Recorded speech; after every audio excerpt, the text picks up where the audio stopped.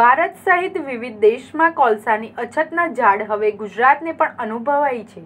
હાલ ગુજરાત પાસે ચાર દિવસ ચાલે તેટલો જ કોલસો છે અને નવો કોલસો આવે તેની રાહ જોવાઈ રહી છે. પરંતુ જે કોલસો આવે છે તે ભીનો હોવાને કારણે ઊર્જા ઉત્પન્ન પણ થતું નથી જેટલી માગ છે. આવનારા દિવસોમાં ગુજરાતમાં વીજ સંકટ તૂટાય તેવી સ્થિતિ છે અને રાજ્યના કૃષિ અને ઔદ્યોગિક વપરાશ માટેના વીજળીના પુરવઠામાં કાપ આવે તેવી સ્થિતિ છે.